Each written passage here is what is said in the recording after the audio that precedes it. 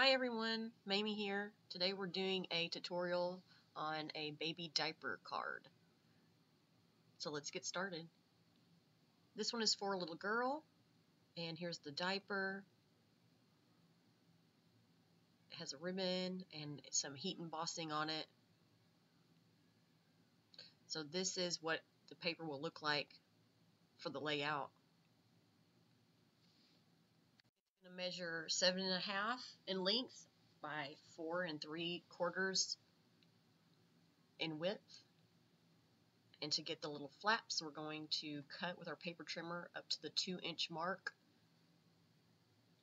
And we're going to bring it in about a fourth of an inch, bring it up to the two inch mark. Same on the other side, bring it in a fourth of an inch and up to the two inch mark. Then we're just going to snip off the extra paper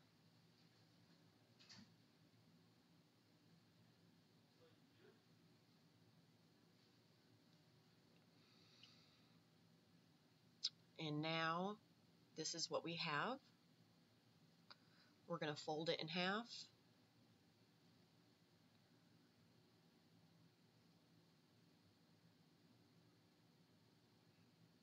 Make sure it's all even.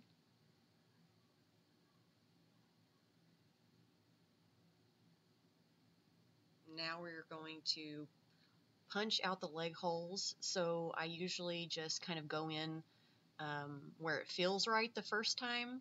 And then I use that as a template for all the other diapers where I will just draw, uh, trace in the line and then go, go over it so it can all be uniform. But the first time I just give it a punch. Don't do it too close together because then it'll look like panties instead of a diaper. I learned that the hard way. And now we're going to um, score the flaps.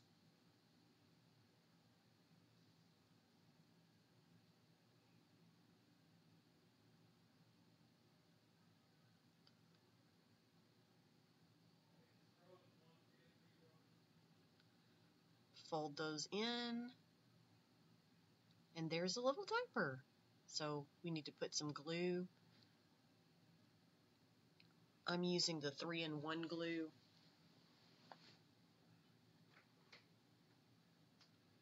By Beacon 3-in-1 Advanced Craft Glue. It's pretty good.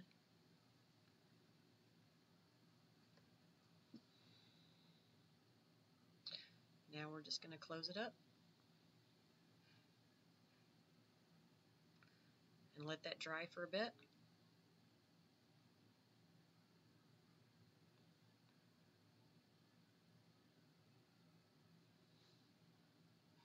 And this is the ombre ink pad by Hero Arts. That is so cute. I'm going to use that on the insert of the card.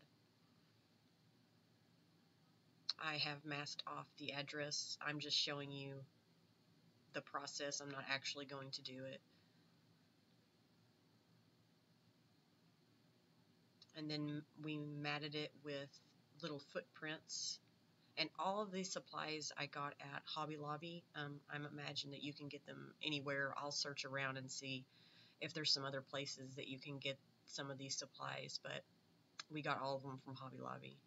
And then I embossed with pink embossing powder the top layer, the top part of the diaper, and then made a tag. And these are all things that you can do with whatever you already have on hand and then tied the ribbon around it.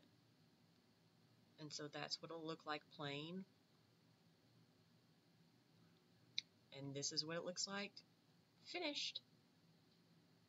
So thanks for joining me and watching this video. If you haven't yet, visit my blog at onejoyousskip.com. Please like and hit subscribe to see more videos like this. Have a good day.